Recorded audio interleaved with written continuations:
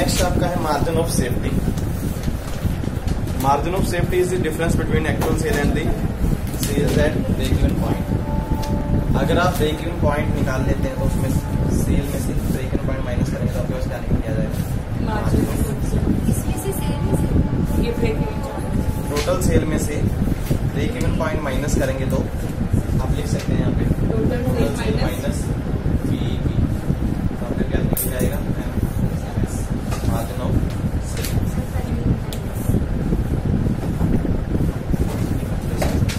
margin of safety clear हो गया था। इसका देखो इन्होंने क्या बताया? Improve the margin of safety to following measure may be adopt अगर हमने मार्जिन ऑफ़ सेफ्टी इंप्रूव करनी तो क्या करेंगे?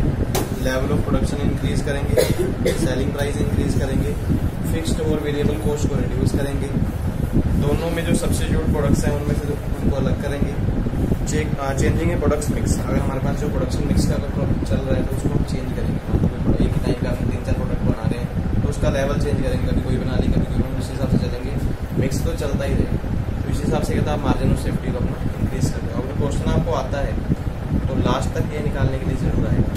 पहले वही होगा कॉन्ट्रीब्यूशन निकलेगा कॉन्ट्रीब्यूशन के बाद पीवी रेशियो पीवी रेशियो के बाद ब्रेक पॉइंट ब्रेक पॉइंट के बाद मार्जिन ऑफ़ सेफ्टी तो हमने कल क्वेश्चन किया ही था ब्रेक पॉइंट तक तो उसके बाद अगर मार्जिन ऑफ़ सेफ्टी निकालना तो इस हिसाब से निकल सकते हैं टोटल सेल दी होगी और ब्रेक पॉइंट से माइनस करके देखो क्वेश्चन में डालता हूँ कि देखो इससे चलो बाद में करते हैं आगे। ब्रेक इवन चार्ट नेक्स्ट आपके पास है break even chart break even chart क्या break even chart is a graphical representation of marginal costing और cost following profit ratio analysis break even chart क्या है? ग्राफिकल रिप्रेजेंटेशन होता है आपका वहाँ पे। सीवीएफ सीवीपी एनालिसिस का। A chart which show the profitability of otherwise undertaking a various level of activities the point of which neither profit और loss no loss is made वो चार्ट जहाँ पे क्या है, आपको ग्राफ के बेस पे दिखाया था, जिस पॉइंट पे आपको कंपनी को ना प्रॉफिट होगा और ना ही लॉस हो रहा है उसको हम बोलते हैं break even chart break even chart की फॉलोइंग इन्फॉर्मेशन देखो क्या दिखा उन्होंने the profit and loss various level of activity profit profit and loss अलग अलग एक्टिविटी का दिखाया जाता है। मार्जिन ऑफ़ सेफ्टी दिखाया जाएगा। एंगल ऑफ़ इंसिडेंस दिखाया जाएगा। एंगल ऑफ़ इंसिडेंस होता है कहाँ पे आपका प्रॉफिट बढ़ा हुआ है कहाँ पे कम हुआ। Inter relationship between different cost of production अलग अलग पोस्ट में हमारा क्या डिफरेंस आ रहा है या फिर क्या रिलेशनशिप आ रहा है वो चेक दिखाया जाएगा। Sale value and break even point दिखाए जाएँगे दोनों। अमाउंट ऑफ़ कॉन्ट्रीब्यूशन कितना पैसा आपने कंपनी में लगाया वो भी आपका ग्राफ में दिखाया ब्रेक इवन चार्ट जो बनाएँगे। जम्पन ऑफ़ ब्रेक इवन चार्ट जब भी आपने ब्रेक इवन चार्ट बनाना है तो उसके लिए क्या क्या चीज़ें ज़रूरी है? Cost can be classified into fixed and variable cost जितनी मर्ज़ी प्रकार की आपके पास पोस्ट पड़ी हो तो दो में आप डिवाइड कर देंगे। फिक्स और वेरिएबल में उसमें क्लासीफाइड करेंगे। Fixed cost will remain constant and will not change change the level of output अगर आप आउटपुट अपना इंक्रीज करें तो फिक्स्ड कॉस्ट कभी भी चेंज नहीं होगी। वेरिएबल कॉस्ट चेंज होती रहेंगी, जैसे जैसे वॉल्यूम आउटपुट चेंज होता रहेगा। The number of unit produced and sold will be same जितने यूनिट्स आपने बनाए और सेल किए, वो दोनों सेम रहेंगे। Selling price will constant selling price भी कभी बढ़ती नहीं है। सेलिंग प्राइस उतनी रहेगी। प्रोडक्शन आप बढ़ा सकते हैं। अपनी प्रोडक्शन बढ़ा के प्रॉफिट इंक्रीज कर सकते हैं। There is only one product in case of many product product mix will remain unchange वहाँ पे आपका कहता है? एक प्रोडक्ट रहेगा। आप चाहे बहुत सारे प्रोडक्ट बना रहे हैं। अनचेंज भी बिल्कुल अनचेंज मतलब जितने मिक्स आप बना रहे हैं तो वो अनचेंज रहेगा। ये नहीं कि उसको चेंज करके आप कोई और प्रोडक्ट बनाना स्टार्ट कर देंगे।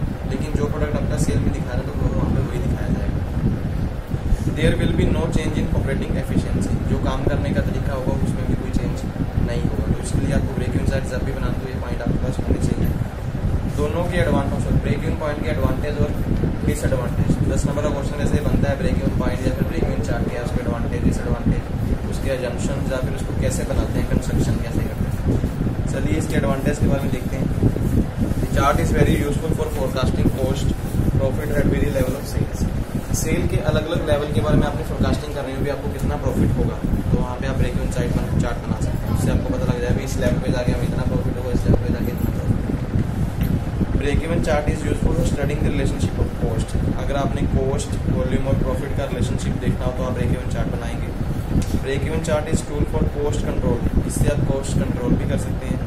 Profitability of various product can be compared अलग अलग प्रोडक्ट से हमें कितनी प्रॉफिट हो रहा है उसको भी कंपेयर किया जा सकता है। It is helpful in knowing the effect of increase और रिड्यूसिंग इन सेलिंग प्राइस इससे हमें यह भी पता लगा, अगर आप सेलिंग प्राइस इंक्रीज कर रहे हैं डिक्रीज हो रहे हैं तो उसका इफ़ेक्ट क्या पड़ता है?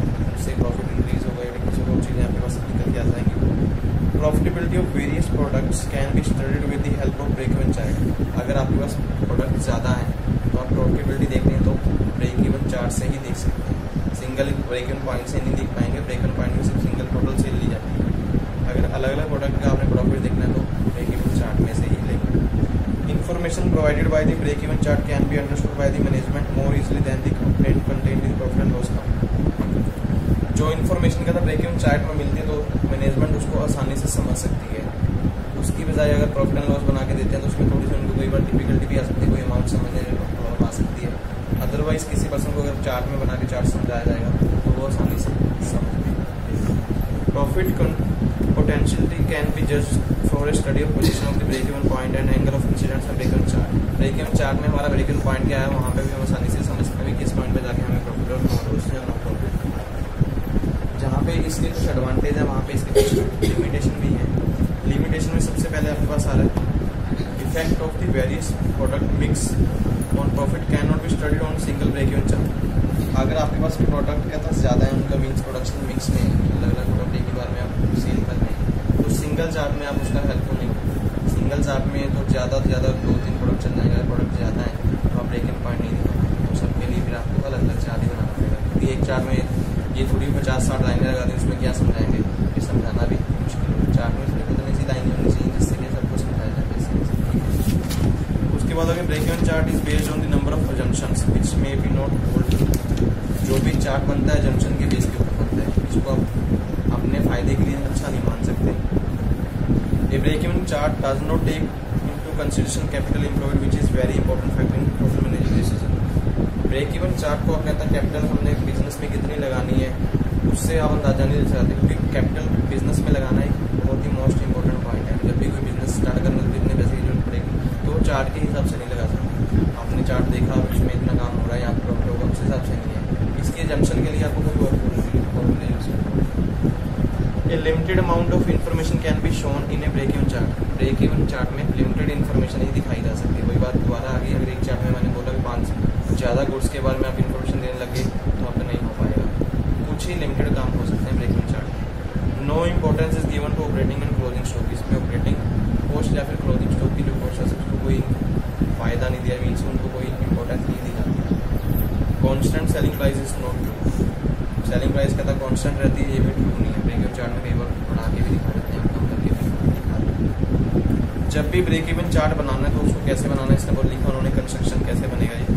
Break even chart is drawn on a graph paper जब भी बनेगा तो ग्राफ पेपर के ऊपर बनेगा।